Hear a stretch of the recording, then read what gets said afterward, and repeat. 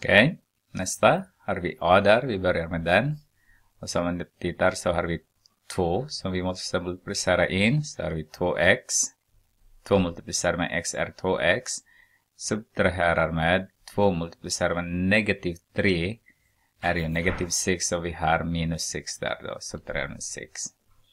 Och sen har vi plus. Sen har vi 4 som vi ska multiplicera in. Vi 4 multiplicerat med x är ju 4x. Och sen 4 multiplicerat med 2 positiv denna gången så har vi positiv 8.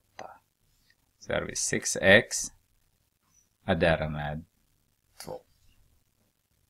Okay. B. Vi börjar med 6, 6.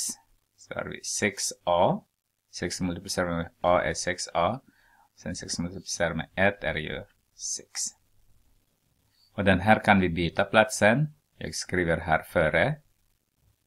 Efter här 3 multiplicerar med a subtraherar med 2. Så har jag 3 multiplicerar med a är ju positiv 3a. Och sen 3 multiplicerar med negativ 2 är ju negativ 6. Då är den här 0.